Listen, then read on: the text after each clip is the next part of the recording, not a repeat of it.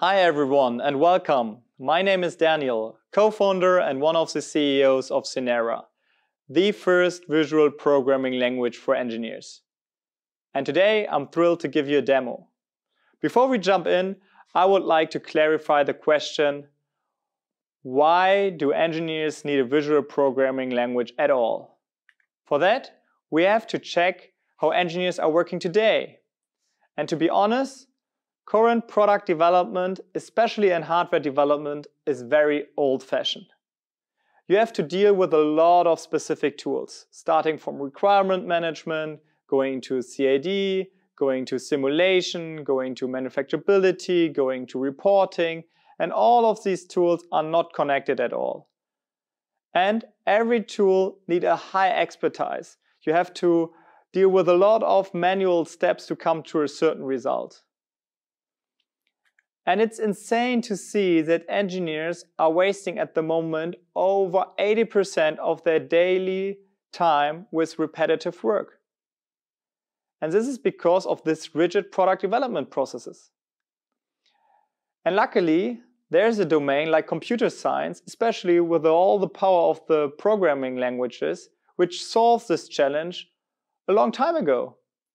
So our vision is to empower our engineers with the power of visual programming to eliminate all the repetitive work they have today and to give them all the time they can concentrate on better products and develop them even faster.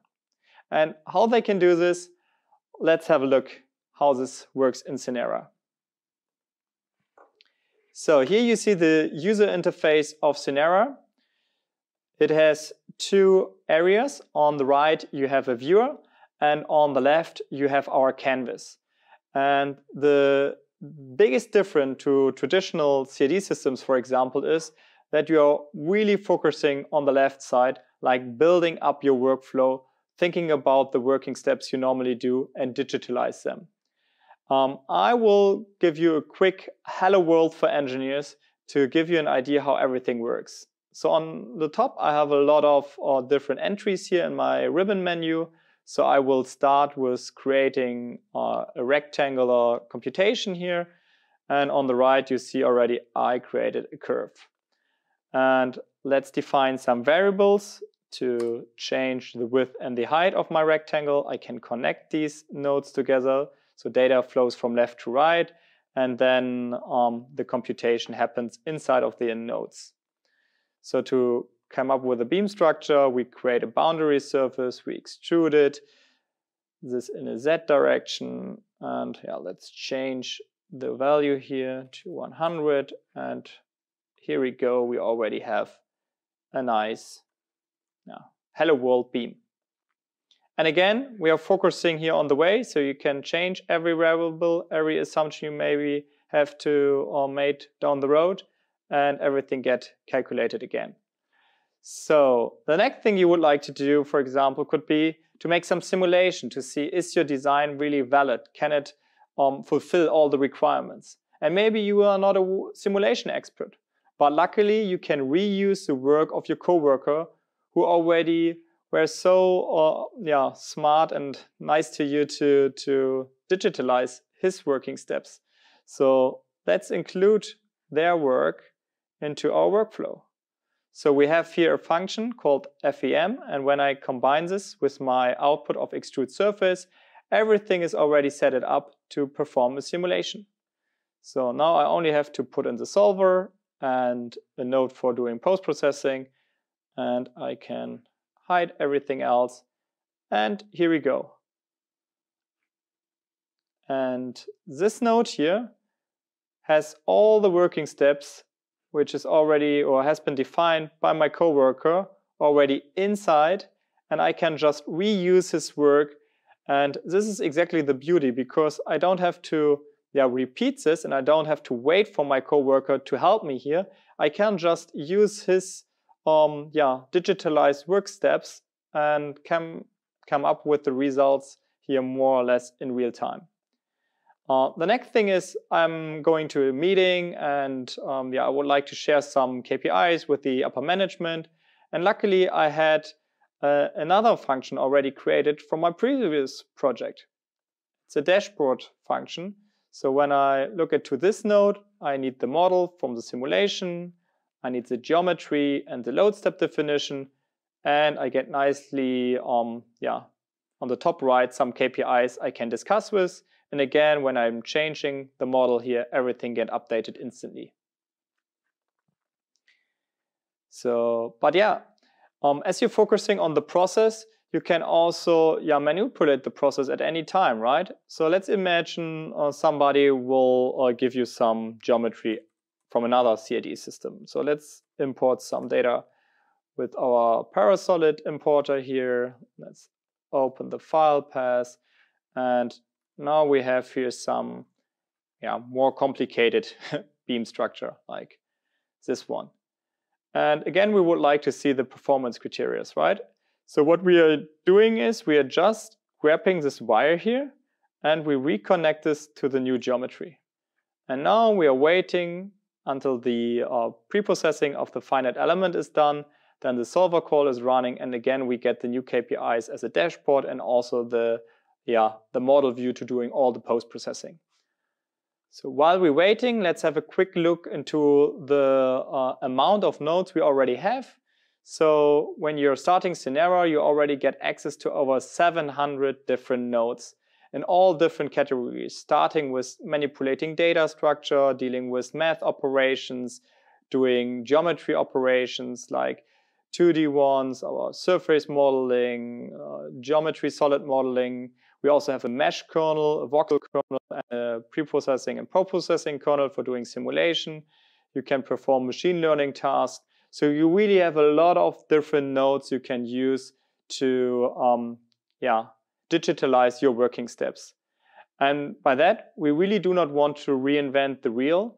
We open our system as a whole ecosystem so you can develop your own nodes and we are also partnering already with one or with the major software vendors out there. So when we look into our uh, current marketplace, you see that we can already um, yeah, use other add-ins here. So when you install these add-ins, you get additional nodes.